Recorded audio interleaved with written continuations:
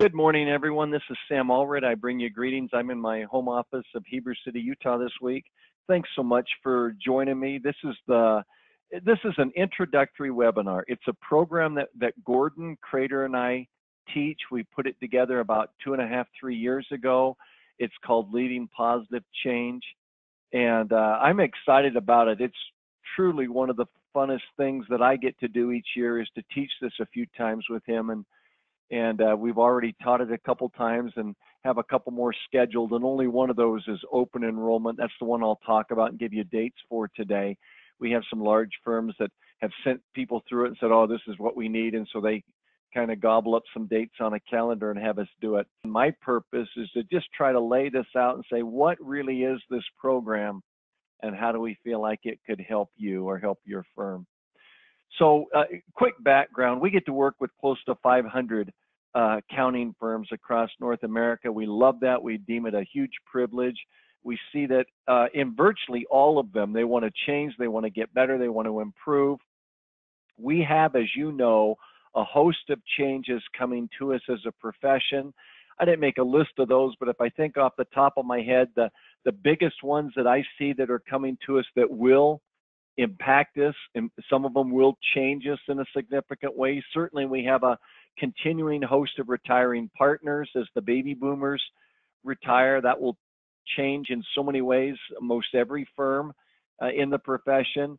Uh, also, because of the baby boomers retiring, we have a host of our clients and their C suites, CEOs, COOs, CFOs that are going to retire. That's going to uh, affect in many ways the loyalty of clients to their accounting firms. We we anticipate seeing more clients change accounting firms in the next decade than we've seen in three decades combined. We, there's this major change in technology coming. It's not a question of if, it literally is a question of when, but with artificial intelligence and blockchain and other things, we see the, the, the traditional roles of audit and tax changing significantly because so much data will be prepared automatically. We've been paid for decades and decades and decades to be historians. Um, and, and in the future, nobody's going to pay for that role because because the the um, organization and accumulation and preparation and presentation of data will all be done electronically.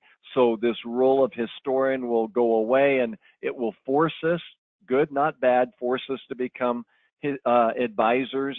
And that's a, a, major change that will impact our profession. Uh, the workforce is changing. It's all about engagement and retention. And it's become a little bit of a Mount Everest experience for some firms to get and keep people and help them see a long-term career in the in the firm rather than I'll be here two years on my resume and then I'll go. And uh, certainly, we also see a major change coming in workforce. Uh, footprints, office footprints are getting smaller, not larger. Uh, more people are being allowed to work in their own space, from their own home, wherever they are. And uh, those are just some of the changes coming. Here's the issue that I want to address with this, and it's that all change in any form for any firm is difficult. Just historically, ask anybody that's tried to lead it, and they'll tell you it's been difficult. And the thing that that got our attention for Gordon and I a number of years ago is we we just began to study this. We had read about it for years, but we had read in in in so many different articles that 70% of all change efforts fail. So what we did is that we went and looked at so many firms. Uh, for again, I, have had the privilege of working with hundreds of firms, and Gordon Krater was the managing partner at Plante Moran, and so had exposure to lots of firms. But we collectively studied a ton of change initiatives in, in our profession, 50 of them to be exact that we studied. They're common change initiatives. They're things that most every firm has tried to do. And we look to see in those common change initiatives if we had, as a profession, the same failure rate that the business world has had. And it wasn't overly surprising that we had that. 70% of all change efforts failed. What surprised us more was some of the most logical change initiatives, things that firms really should do, had at least a 70% failure rate. And I'll share some of that as we go forward and talk about that. So almost every change initiative we looked at of these 50 begin with really great anticipation. This is going to be important. This is good for the firm. This is good for the partner group. This is going to help us from a from from from a recruiting standpoint, an engagement standpoint, a retention standpoint, a client service standpoint, a business uh, market standpoint. And somewhere along the way, that excitement turned to frustration, and most of those change initiatives failed. And would ask you because we looked at this, we'd ask you to consider what's the impact on firm culture of having a failure rate of 70% or in some cases higher with with the things that you talk about you get excited about you announce you you track there's a bright spotlight on it. And um, that impacts the firm it impa- impacts mostly the youngest generation in so many different ways our biggest shock, my personal biggest shock in all of this was, and I mentioned this, alluded to this earlier, when we looked at those change initiatives, in almost all cases, and listen to this carefully, the strategy behind the change was sound. The, the timing was right. It would benefit the firm. All the, all the stars seemed to line up The, the, the, the, firm adopted a really good process, set of steps to, to embrace the change initiative, and there was still failure. There, there was still a 70% or higher failure rate, even when it was the right thing to do. It would benefit the firm. The timing was right. It was well thought out. There were proper steps to follow. Even because I assumed when we looked at this change uh, uh, failure rate, I just assumed, guys, the timing was lousy. You didn't do a good job picking the right thing. You didn't do a good job announcing it. You didn't put the right people in charge. You didn't follow the right steps. I just assumed you missed something. And that wasn't the case.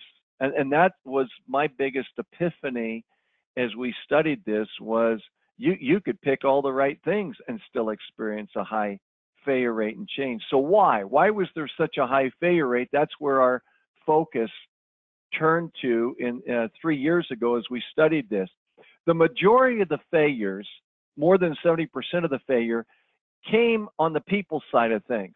It was either resistance to the change itself or leaders in the firm, that would be partners, senior managers, maybe in some cases managers, not embracing the change. In other words, most change failures were not process failures. They were not that you didn't follow the right steps. They're people failures. They're these things, these four things.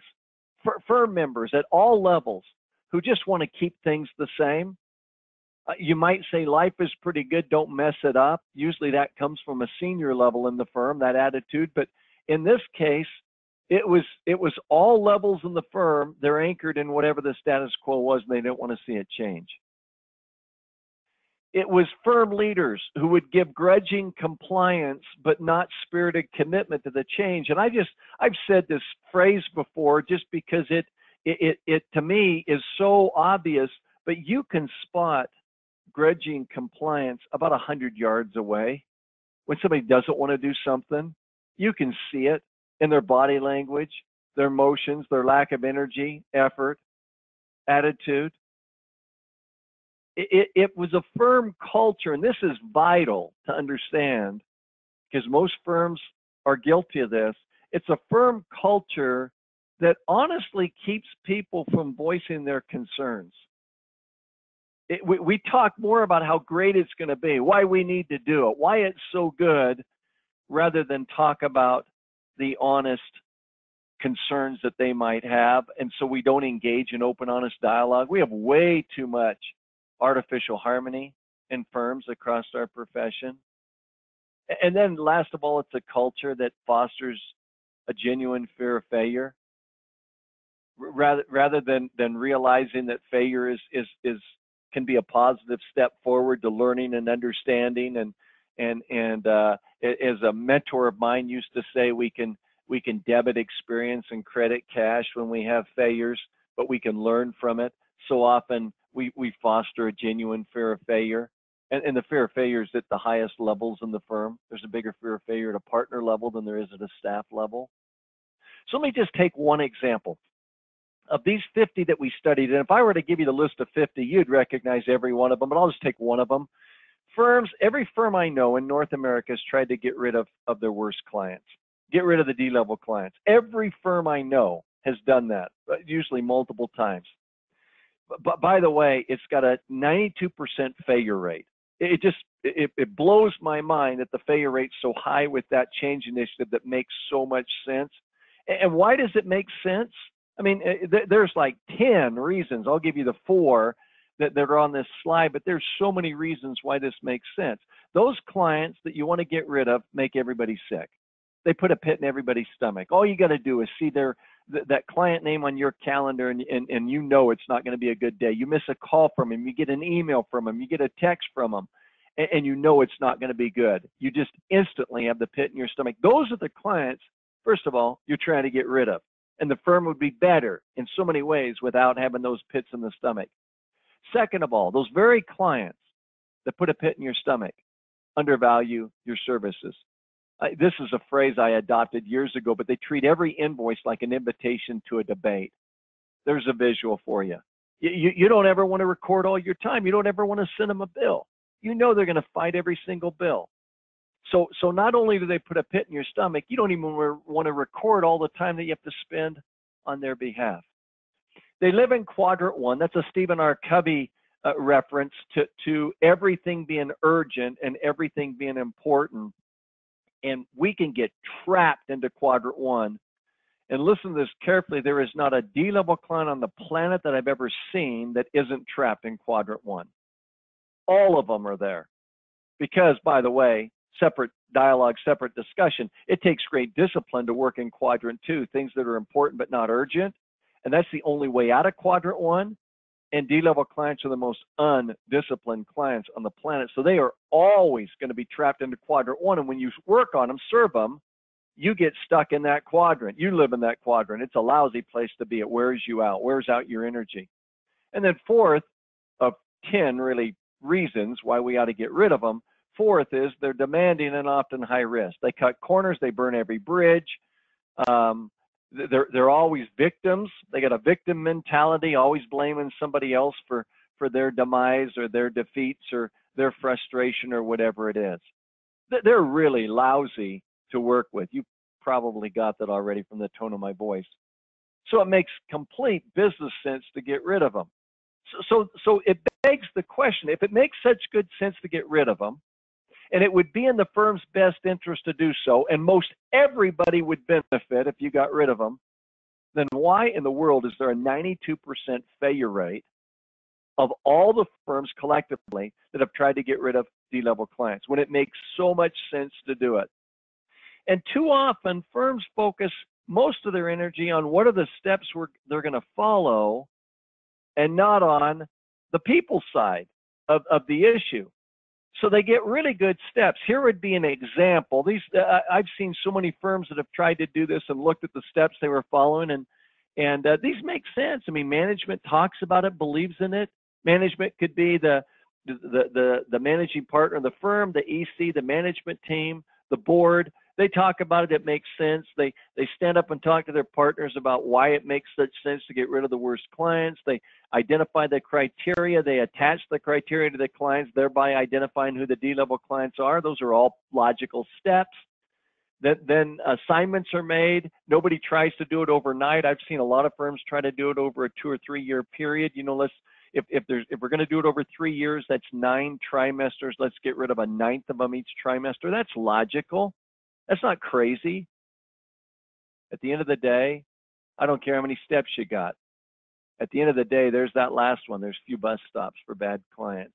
All the energy, all the effort, all the talk, very few bus stops for bad clients. You're still serving them. In most cases, you're still serving them at the same rate, the same frustration, and, and, and nothing's changed. Other, other than the fire drill, nothing's changed. If here's a key takeaway that I give you, if you only look at the process, the steps you're going to follow, and, and and the communication that you need, and you don't look at the individuals that that, that need to understand why they're doing it, know the skills that it takes to do it, whatever the change is, and have a chance to share what what they're concerned about and frustrated about, and, and you don't listen to that, you're not going to get there. And, and so the rule of thumb we give is put equal emphasis on process and on behavior. Spend at least as much time talking about the behavior, talking about why it would concern somebody to get rid of, in this case, get rid of a D level client. The fact that they've never been trained how to do it and they really, it makes them uncomfortable. The fact that they don't know how to do business development and not sure where a replacement client's going to come from.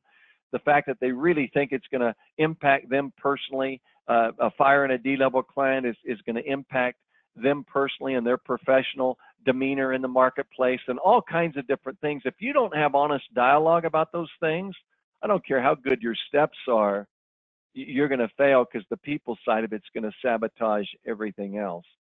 Now, I'm giving you just one change initiative. We studied 50, and on all of them, it was the people side that killed the change initiative. Maybe one other thing I'll share before I talk about what we teach in the workshop, because by the way, this is one of the things we teach. So often we stand up and tell everybody, these are firm leaders and everybody means well, so that nobody's mean spirited about this. We tell everybody, this is going to be good. We're going to be a better firm if we go through this change, whatever it is a software change, implementing a new process, opening a new market, whatever it is. Management's thought it through and says this is going to be good. But what we fail to tell everybody is it's going to feel lousy for a while before it ever starts to feel good. We just tell them it's going to be good. And we take everybody through what we call the swamp of despair. In every single change initiative, we lead people down into the swamp of despair. And we start by saying, This is really going to be good for all of us. You're going to be glad we're doing this. And then that swamp of despair might last three months, it might last six months. If it's done right, it shouldn't last longer than that. In some cases, we can shorten it and shallow it, and we teach how to do that in the workshop. But in so many cases, we don't prepare them for the swamp of despair.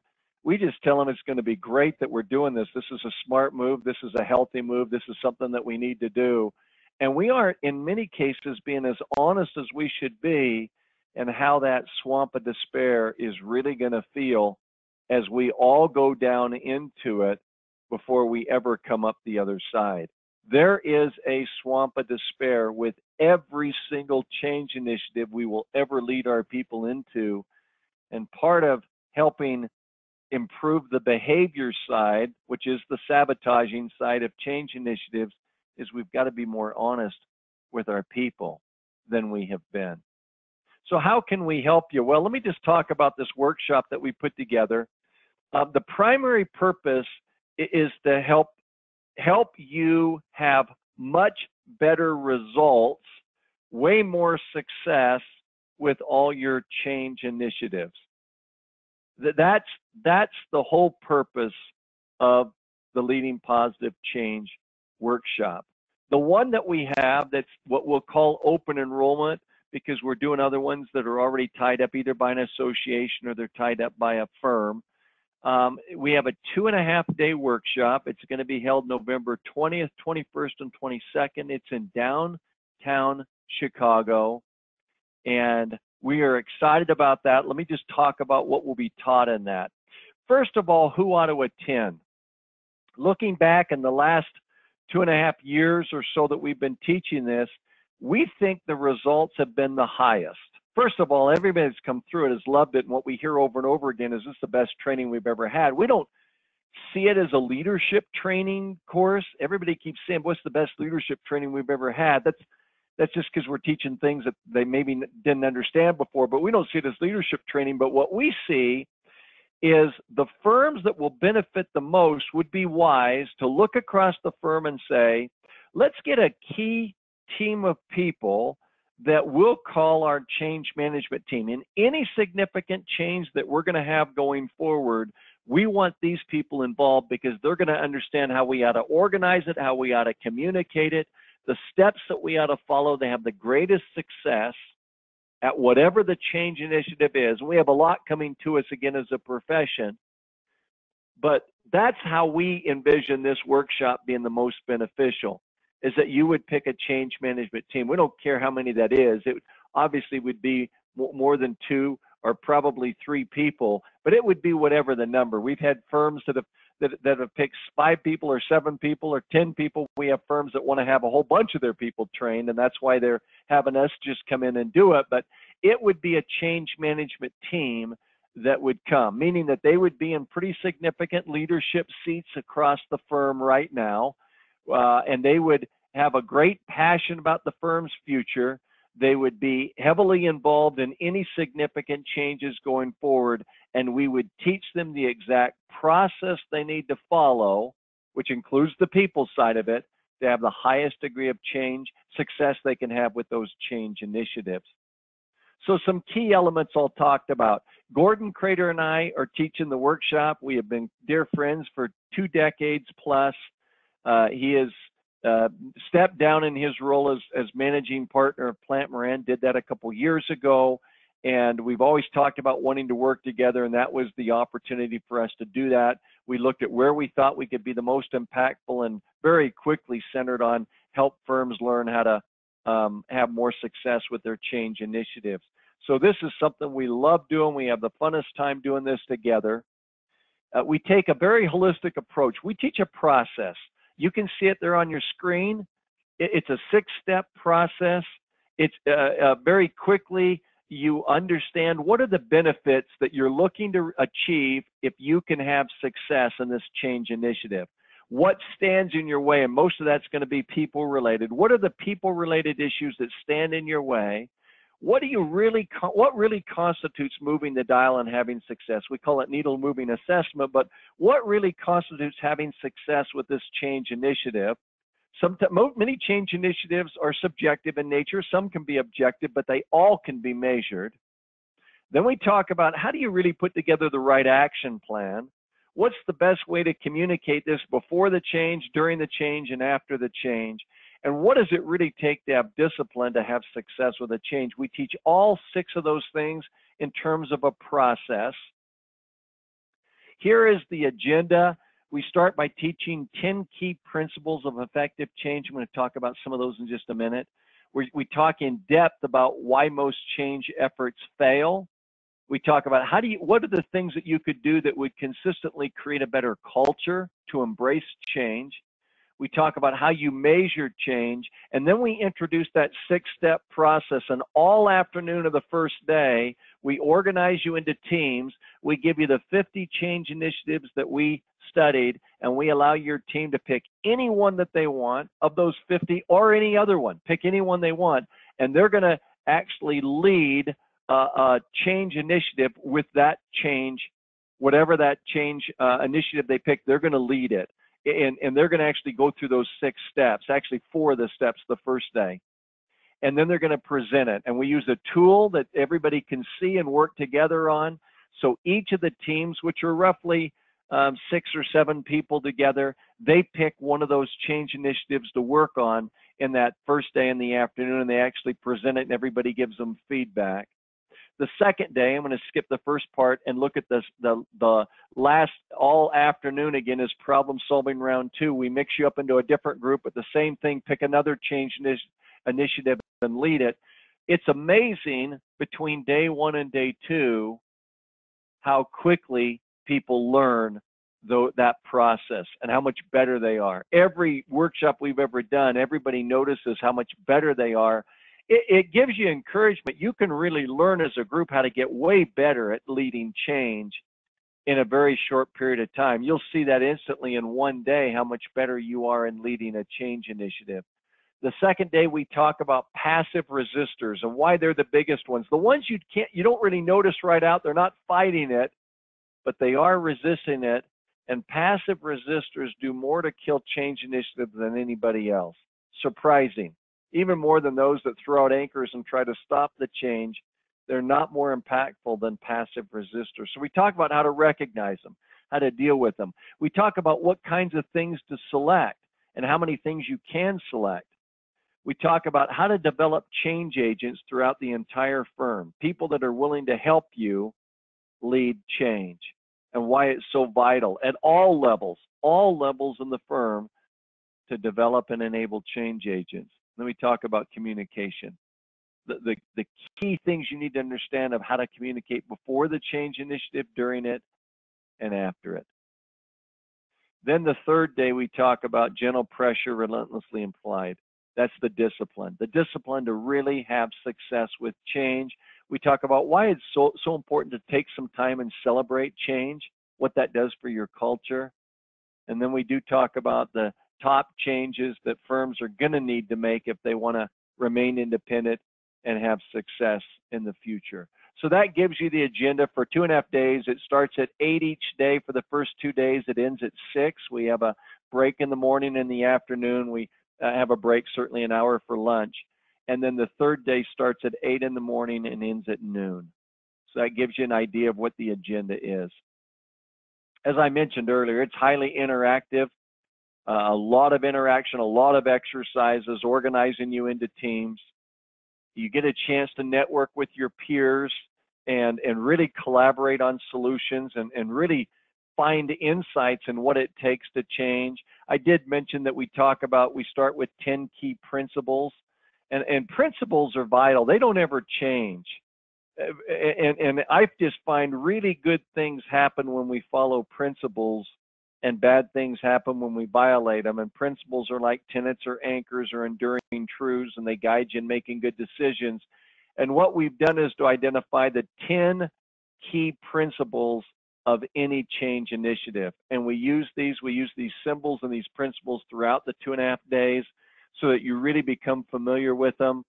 And, and they just become vital to help when you make good choices in how you lead change initiatives.